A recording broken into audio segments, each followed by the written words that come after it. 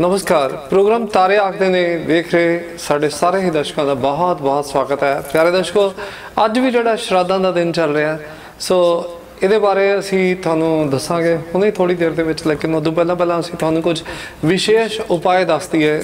ਬਹੁਤ ਸਾਰੇ ਦਰਸ਼ਕ ਸਾਨੂੰ ਪੁੱਛਦੇ ਆ, ਟੋਟਕਿਆਂ ਦੇ ਬਾਰੇ। ਕਹਿੰਦੇ ਟੋਟਕੇ ਤੁਹਾਡੇ ਬਹੁਤ ਕਰਮਾਤੀ ਹੁੰਦੇ ਆ। ਸਾਡੇ ਨਹੀਂ ਗਏ ਬੇਸਿਕਲੀ ਇਹ ਤਾਂ ਪੁਰਾਣੇ ਸਮੇਂ ਤੋਂ ਰਿਸ਼ੀ ਮੁਨੀਆਂ ਦੇ ਚੱਲਦੇ ਹੋਏ ਟੋਟਕੇ ਆ। ਉਹਨਾਂ ਨੇ ਅੱਗੇ ਬਜ਼ੁਰਗਾਂ ਨੂੰ ਸਾਡਿਆਂ ਨੂੰ ਦੱਸੇ, ਬਜ਼ੁਰਗਾਂ ਨੇ ਸਾਨੂੰ ਦੱਸੇ ਜਾਂ ਬਜ਼ੁਰਗ ਸਮਾਨ ਵਿਅਕਤੀਆਂ ਤੋਂ ਸਾਨੂੰ ਪਤਾ ਲੱਗਦਾ ਰਿਹਾ। ਸੋ ਇਦਾਂ ਦਾ ਇਹ ਟੋਟਕੇ ਦੁਹਰਾਉਂਦੇ ਰਹੇ। ਪਿਆਰੇ ਦਰਸ਼ਕੋ, ਕਿਸੇ ਵੀ ਪੂਰਨਮਾਸ਼ੀ ਦੇ ਦਿਨ ਤੁਸੀਂ ਬੁੱਧ ਦੀ ਹੋਰਾ ਦੇ ਵਿੱਚ ਸ਼ੁੱਧ ਗੋਰੋਚਨ ਲਓ, ਨਾਗ ਕੇਸਰ ਲਓ, ਲੈ ਕੇ ਖਰੀਦ ਕੇ ਲੈ ਕੇ ਆਓ ਤੇ ਬੁੱਧ ਦੀ ਹੋਰਾ ਦੇ ਵਿੱਚ ਕਿਤੋਂ ਵੀ ਅਸ਼ੋਕਾ ਦਾ ਇੱਕ ਬਿਲਕੁਲ ਸਾਬੁਤ ਪੱਤਾ ਲਓ, ਫਿਰ ਗੋਰੋਚਨ ਤੇ ਨਾਗ ਕੇਸਰ ਨੂੰ ਦਹੀਂ ਦੇ ਵਿੱਚ ਘੋਲ ਕੇ ਪੱਤੇ ਦੇ ਉੱਤੇ ਸਵਾਸਤਿਕ ਦਾ ਨਿਸ਼ਾਨ ਬਣਾ ਦਿਓ। ਫਿਰ ਇਸ ਪੱਤੇ ਨੂੰ 1 ਮਹੀਨੇ ਤੱਕ ਤੁਸੀਂ ਧੂਪ ਬੱਤੀ ਦੇਣੀ ਹੈ ਫਿਰ ਅਗਲੀ ਪੂਰਨਮਾਸ਼ੀ ਨੂੰ ਬੁੱਧ ਦੀ ਹੋਰਾ ਦੇ ਵਿੱਚ ਇਹੀ ਪ੍ਰਯੋਗ ਦੁਬਾਰਾ ਦੁਹਰਾਉਣਾ ਹੈ।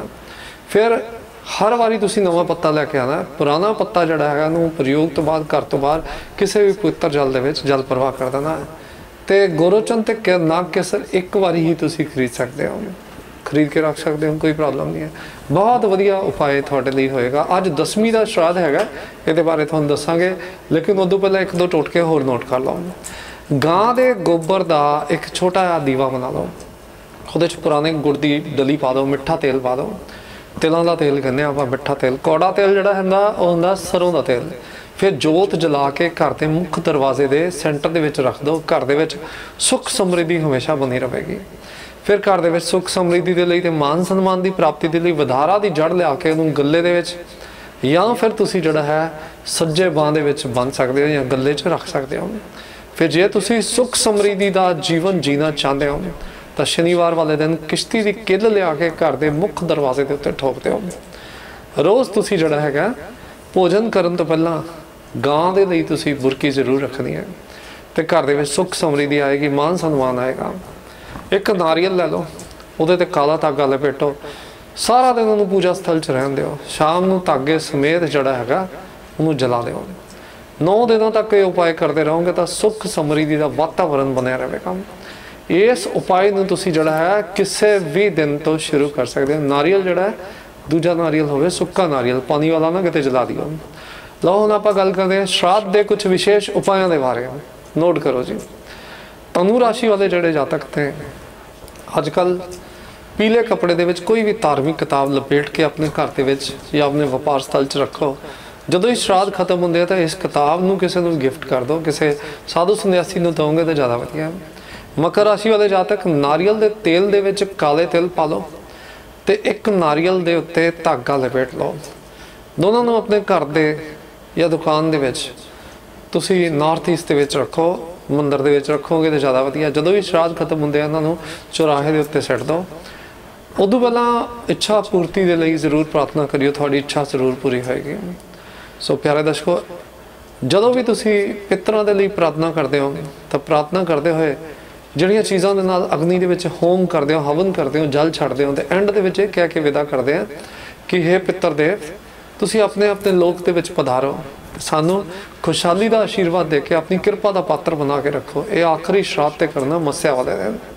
ਸੋ ਪਿੱਤਰ ਦੋਸ਼ ਜਦੋਂ ਵੀ ਹੁੰਦੇ ਆ ਤਾਂ ਪਿੱਤਰਾਂ ਦੀ ਯਾਦ ਦੇ ਵਿੱਚ ਤੁਸੀਂ ਪਿੱਪਲ ਜਾਂ ਬਰਗਦ ਦਾ ਪੇੜ ਲਗਾ ਕੇ ਉਹਦੀ ਪੂਰੀ ਸ਼ਰਧਾ ਦੇ ਨਾਲ ਜੇ ਸੇਵਾ ਕਰਦੇ ਹੋ, ਤਾਂ ਪਿੱਤਰ ਦੋਸ਼ ਖਤਮ ਹੋ ਜਾਂਦਾ। ਬੜਾ ਹੀ ਸ਼ਕਤੀਸ਼ਾਲੀ ਉਪਾਅ ਹੈ ਕਰਨਾ ਨਾ ਭੁੱਲਿਓ। ਪੂਰਨਮਾਸ਼ੀ ਤੋਂ ਲੈ ਕੇ ਅਮਾਵਸ ਤੱਕ ਰੋਜ਼ ਤੇਲ ਦਾ ਦੀਵਾ ਜਿਹੜਾ ਦਕਸ਼ਣ ਮੁਖੀ ਲੋਹ ਦੇ ਨਾਲ ਜਲਾਉਂਗੇ ਬੜਾ ਵਧੀਆ ਰਿਜ਼ਲਟ ਮਿਲੇਗਾ। ਪਿੱਤਰ ਪਕਸ਼ ਦੇ ਵਿੱਚ ਰੋਜ਼ ਪਿੱਤਰਾਂ ਦੇ ਲਈ ਤੁਸੀਂ ਤਰਪਣ ਕਰੋਗੇ ਜਾਂ ਕਿਸੇ ਬ੍ਰਾਹਮਣ ਤੋਂ ਕਰਵਾਓਗੇ ਤਾਂ ਬਹੁਤ ਵਧੀਆ ਰਹੇਗਾ। ਇਦਾਂ ਹੀ ਪਿੱਤਰ ਪਕਸ਼ ਦੇ ਵਿੱਚ ਪਿੱਤਰ ਸੂਪ ਦੇ ਪਿੱਤਰ ਗਾਇਤਰੀ ਦਾ ਸੰਪੁਟ ਲਗਾ ਕੇ ਜ਼ਿਆਦਾ ਤੋਂ ਜ਼ਿਆਦਾ ਪਾਠ ਕਰੋਗੇ ਜਾਂ 11000 ਪਾਠ ਦੇ ਨਾਲ ਅਨੁਸ਼ਠਾਨ ਪੂਰਾ ਕਰੋਗੇ ਤਾਂ ਬੜਾ ਹੀ ਲਾਭ ਹੋਏਗਾ। ਸੋ ਪਿਆਰੇ ਦਰਸ਼ਕੋ, ਕਿੱਦਾਂ ਲੱਗਿਆ ਅੱਜ ਦਾ ਸਾਡਾ ਐਪੀਸੋਡ ਤੁਹਾਡੇ ਲਈ ਜ਼ਰੂਰ ਦੱਸਿਓ। ਜੇ ਅੱਛਾ ਲੱਗਿਆ ਤਾਂ ਦੋਸਤਾਂ ਨਾਲ ਵੀ ਜ਼ਰੂਰ ਸ਼ੇਅਰ ਕਰਿਓ ਤਾਂ ਕਿ ਉਹਨਾਂ ਨੂੰ ਵੀ ਲਾਭ ਹੋ ਜਾਏ। ਤੁਸੀਂ ਇਕੱਲੇ ਇਕੱਲੇ ਫਾਇਦਾ ਨਾ ਲੈ ਜਾਓ। ਤੇ ਸਾਡੇ YouTube channel astrologer Sukhminder Ludhiana India ਨੂੰ ਸਬਸਕ੍ਰਾਈਬ ਕਰ ਦੇਣਾ ਭੁੱਲਿਓ। ਤੇ ਸਾਡੇ Facebook ਪੇਜ ਸੇਮ ਨਾਮ ਤੋਂ ਉਹਨੂੰ ਵੀ ਲਾਈਕ ਜ਼ਰੂਰ ਕਰਿਓ ਤਾਂ ਕਿ ਲੇਟੈਸਟ ਅਪਡੇਟ ਸਾਡੇ ਕੋਲ ਆ ਜਾ ਕਰਨ। ਹੁਣ, ਸਾਡਾ WhatsApp ਨੰਬਰ ਵੀ ਹੈ। ਇਸ ਤੇ ਐਡ ਹੋਣ ਦੇ ਲਈ ਆਪਣਾ ਨਾਮ ਸਿਟੀ ਨੇਮ ਕੰਟਰੀ ਨੇਮ ਤੁਸੀਂ ਸਾਨੂੰ ਭੇਜ ਸਕਦੇ ਹੋ। ਹੁਣ ਅੱਜ ਦਾ ਰਾਸ਼ੀਫਲ ਮੇਸ਼ ਰਾਸ਼ੀ ਵਾਲੇ ਜਾਤਕ ਜਿਹੜੇ ਨੇ, ਅੱਜ ਦਾ ਜਨਮ ਜਿਹੜਾ ਦੂਰ ਦੁਰਾਡੇ ਤੋਂ ਚੰਗੇ ਸੁੱਖ ਸਨੇਹ ਆ ਸਕਦੇ ਜਦ ਕਿ ਵ੍ਰਿਸ਼ ਰਾਸ਼ੀ ਵਾਲਿਆਂ ਨੂੰ ਜਿਹੜਾ ਹੈ, ਮਾਨ ਸਨਮਾਨ ਅੱਜ ਬਹੁਤ ਮਿਲ ਸਕਦਾ ਹੈ। ਮਿਥੁਨ ਰਾਸ਼ੀ ਵਾਲੇ ਭੱਜ ਦੌੜ ਭਰਿਆ ਸਮਾਂ ਹੈ ਜਦ ਕਿ ਕਰਕ ਰਾਸ਼ੀ ਵਾਲੇ ਜਿਸ ਤਰਫ ਵੀ ਜਾਓਗੇ, ਅੱਜ ਤੁਹਾਡੀ ਜੈਕਾਰ ਹੋਏਗੀ। ਸਿੰਘ ਰਾਸ਼ੀ ਵਾਲਿਆਂ ਦੇ ਲਈ ਕਿਸਮਤ ਦਾ ਸਤਾਰਾ ਅੱਜ ਥੋੜਾ ਠੰਡਾ ਹੋ ਸਕਦਾ ਹੈ, ਜਦਕਿ ਕੰਨਿਆ ਰਾਸ਼ੀ ਵਾਲੇ ਥੋੜਾ ਜਿਹਾ ਅੱਜ ਭੱਜ ਦੌੜ ਭਰਿਆ ਸਮਾਂ ਹੈ।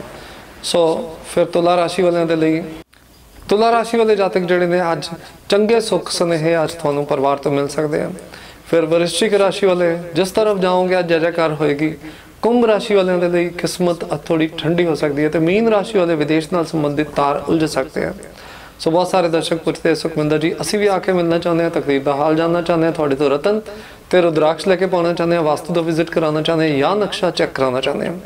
ਪਿਆਰੇ ਦਰਸ਼ਕੋ ਨਾਲ ਸਾਰੀਆਂ ਚੀਜ਼ਾਂ ਦੇ ਲਈ ਸਭ ਤੋਂ ਪਹਿਲਾਂ ਟਾਈਮ ਦੱਸ ਸਕਦੇ ਹੋ, ਫਿਰ ਆ ਕੇ ਪੁੱਛ ਸਕਦੇ ਹੋ ਜਾਂ ਟੈਲੀਫੋਨਿਕ ਅਪਾਇੰਟਮੈਂਟ ਵੀ ਲੈ ਸਕਦੇ ਹੋ। ਸਾਡਾ ਪਤਾ ਨੋਟ ਕਰ ਲਓ।